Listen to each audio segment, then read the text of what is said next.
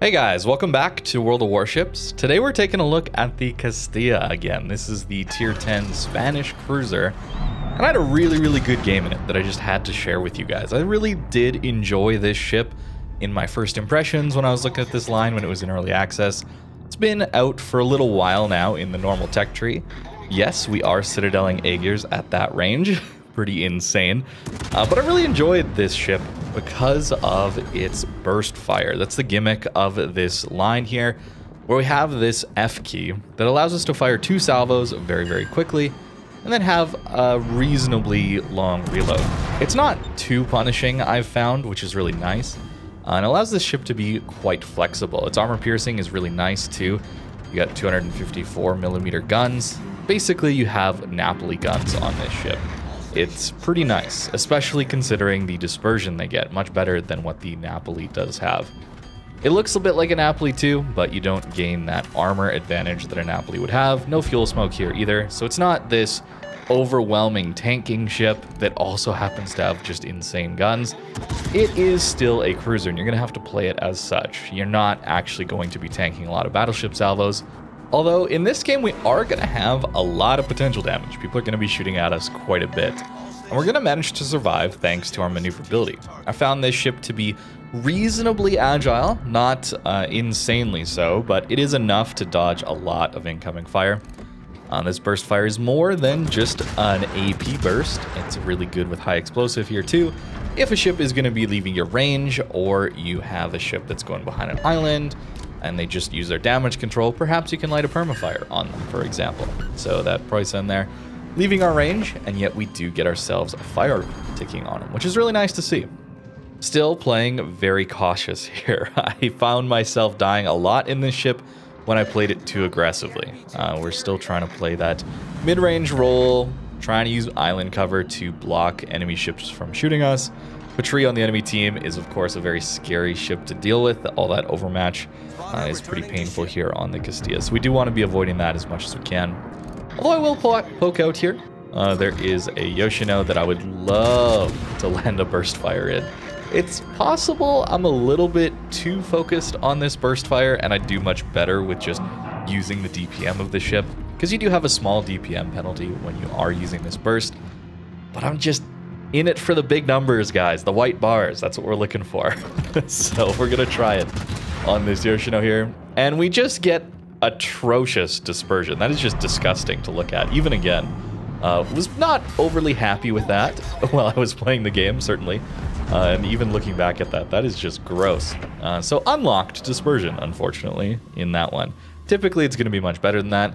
Well, that's always going to be an issue with this game is the aiming bugs that we have to deal with. Shells going short, ships just not having any sort of lock-on accuracy. It's very, very frustrating, especially in a battleship, uh, but also in a ship like this, where we do want to be landing those alpha strikes, and we have that longer reload uh, during that time. We do get ourselves another Citadel there on some sort of test ship, I guess. Not sure what that thing exactly is about, but it apparently has a Citadel, which is uh, nice to see there, even though we didn't get too much on him. Skipping forward a little bit here, we are going to deal with the enemy's push through the C-cap. Can tell our team is doing a reasonably good job on the A flank, so we're going to set up to receive a push here, trying to get a few crossfires as our team does retreat. And again, going for that burst. Still feeling out how the pen goes here. A Duncan does have a pretty large citadel. And seeing if we can do some damage. And no citadels, unfortunately. So at that range, Either the angle was wrong, we didn't hit the Citadel area, or it was just a little bit too armored. Now we're going to have a little bit of an awkward fight here. Uh, this Duncan as well as the enemy cruisers pushing up. You can tell I'm very focused on the armor piercing here. I should be using HE into the Duncan and honestly into a lot of these cruisers since the HE is actually pretty good. But they might go broadside, right? a little greedy for uh, these big salvos, but they can happen. They can happen, right? You may as well try, right? So three citadels, citadels there feels pretty good into that Yoshino. Unfortunately, we don't actually end up killing him, um, but it was a very nice salvo anyway. This is a nice ship if you're frustrated with the lack of consistency out of battleships, but you still want to get some of those big hits. Um, but you're more of a cruiser player at heart, and Castilla, I think, is going to do a great job for you then. It's honestly one of the better designed tech trees that I've seen for Wargaming in quite some time. It just doesn't go down an insane OP rabbit hole or is just incredibly weak. Um, I think this is a really strong line, especially the tier 10 that I've been playing most of all, but isn't OP, and it's not really that unfun to fight against. Um, yes, you are going to have to worry about a reasonably stealthy cruiser coming up and dev striking you on your broadside. Um, but you do have to worry about that regardless, I think. Uh, it's always going to be dangerous to sit broadside anyway. So when you're fighting this ship, I do think it's a very interesting ship to fight against as well as play, which is the sign of a really, really nicely designed ship. I do think the addition of these F keys or these special gimmicks, combat instructions, these sorts of things are probably a little over the top. Uh, we certainly see that with super ships, how a lot of the ones coming into the game nowadays are lacking any sort of special gimmick like that or are just flat out weaker than those initially released ones. Would be interesting to see if Wargaming would nerf some of those a little bit, uh, looking specifically at Annapolis, Condé, Satsuma, those ones are a little bit extreme.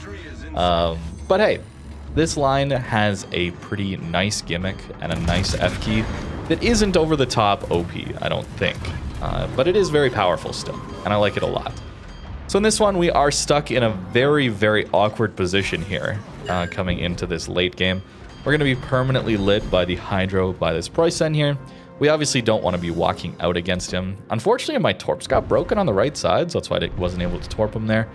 We are stuck broadside onto the Patrie at longer ranges, so fortunately, our acceleration there was enough to juke his shot, but we could have easily died there. This ship definitely does have a Citadel that can be hit, especially by something that uh, has that kind of overmatch. Uh, it is definitely a scary thing to deal with. Again, trying to avoid the Preußen still, 30 mil overmatch, something to keep in mind here. I'm going to try and deal with the Yoshino, some of the cruisers. That's really what we want to fight. We can fight battleships, but our HE DPM isn't that great. Neither is the fire chance, um, or at least the fires per minute. The fire chance is actually pretty decent. We just don't have the DPM to really burn down battleships that effectively here. I prefer to focus on the armor piercing side of things. So, of course, fighting other cruisers is the idea. We do have our torps on the other side, though, which is very nice to see. And we're going to burst into the upper belt of this Preußen. And look at this damage. 13k in the first one. I think that was 9.5 in the second one. So we did over 20k uh, to the Preußen there in a burst, which is a pretty good salvo. If you get unlucky in something like a Montana, uh, you're going to do less than that in a salvo.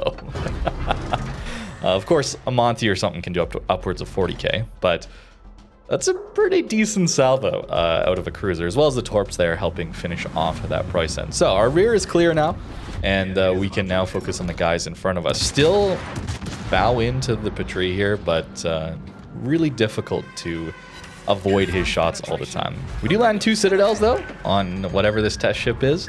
That becomes our high caliber, so up over 200,000 damage. Our potential damage is climbing up there as well, nearly 2 million in this game. And it will go up because we are the most forward ship in our team. And they're going to focus us, try and get us out. Notice the reload now on my first gun. He took out my first gun there as it was reloading from a burst, and we still have to do that full reload. That makes sense, of course, but I'm wondering what's going to happen if your turret gets knocked out and it's not during a burst reload. Is it still going to be that long reload, or is it going to be the normal one? Because at the beginning of the game, you have that full long reload like you had just burst fired. I don't know, I'm not sure how that works, but it might be a bit of a pain point here on the Castilla and this line in general. If we are going to have to deal with that. If our turret gets knocked out and we repair it, having that extra long reload, uh, even if we didn't use our burst fire. So we do manage to take out the cruiser, and we're still spotted here on such low HP. Uh, trying desperately to go dark, not get lit on fire here, and fortunately we don't. But we don't have our Hydro up, so dealing with this DD is going to be a little tricky. Burst Fire also amazing for dealing with destroyers. You can land that really potent salvo in when the DD is broadside. Um, of course, you do lack a little DPM, but you're not going to get nearly the damage out on a destroyer once they're able to angle to you again. Uh, so that's where this burst fire, especially considering the lack of a punishment, really, for using it. It's only a minor DPM hit. We may as well use our burst against this DD here.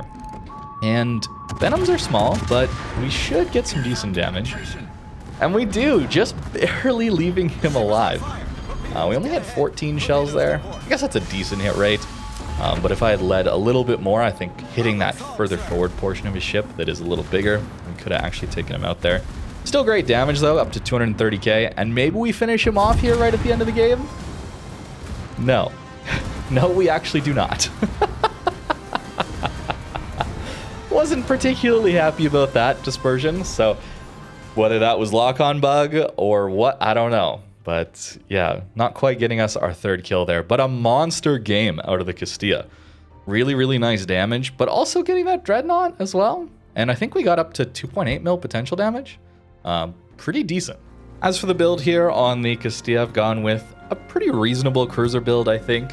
Um, maybe a little bit different. I'm trying to use this outnumbered a little bit more. I have definitely slept on this skill ever since it came out, and I am trying to use it more, especially on these ships where I am a little more focused on the armor piercing side of things, trying to get those Dev Strike kind of salvos. Didn't really make use of it in this game though, uh, so maybe it's not as valuable, but I am still trying to see what it's like. So keep in mind, four points is basically being set aside for just testing out what this skill is like. But I do think Top Grade Gunner is going to be excellent on this ship, uh, even though we do have really good concealment. There's still a lot of times where you're going to make use of the extra reload. It's very nice to have. Concealment though, Superintendent, since we have so many consumables we do want to be using. Adrenaline Rush is just always pretty much the best tier 3 skill. I'm not using heavy AP. I guess that would be some of those points coming back. And I am going for Eye in the Sky, even over things like Priority Target, maybe even Demolition Expert. And I really like this skill for giving me that extra flexibility to take a reload mod instead of a range mod. So 17.1 kilometers is not good range at tier 10, not at all. Um, but this skill is allowing me to take that because I have my spotter plane more often. So it's really any situation where I am wanting to have that extra range, typically this spotter plane is going to be available to me thanks to this skill. Of course, Gunfeeder is just amazing when you have a ship that does want to swap between HE and AP, like this one. And then I'm also using the spotter aircraft mod here. Should maybe consider main armaments, uh, since we did get, um, well, both our torp tubes I think were permanent by the end of the game. Uh, we did have to deal with that one turret in a bit of an awkward position there. Um, but that does result in this spotter plane being up for 130 seconds, and we only have 114 second cooldown. So it's available to us more often than it isn't, which is pretty nice to see. Uh, since it's not like an OP consumable, but very, very useful for taking something like a reload mod here.